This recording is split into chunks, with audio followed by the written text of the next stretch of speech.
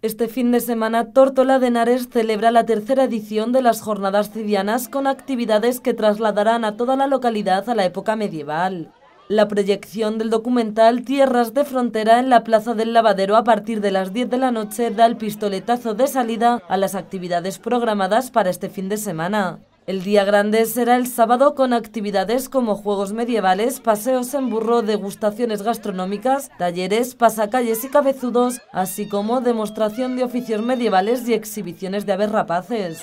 El alcalde de la localidad, Martín Vicente, considera que estas actividades son muy importantes para rememorar la historia y redescubrir algunas de las costumbres propias de la época medieval. Además, habrá un mercado medieval que abrirá sus puertas a las 11 de la mañana del sábado.